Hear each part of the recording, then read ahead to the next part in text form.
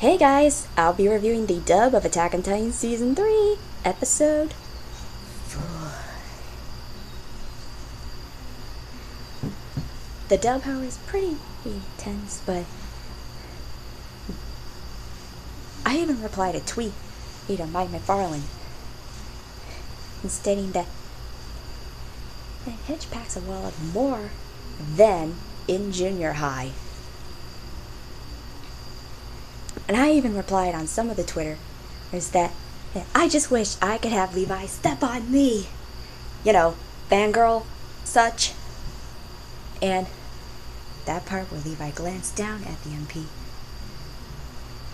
Saying, baby. I mean, that sounded hot. Even more so than Japanese. I mean, all the fangirls like me got pregnant with just one look from that gorgeous man, aka Levi. So, what do you think?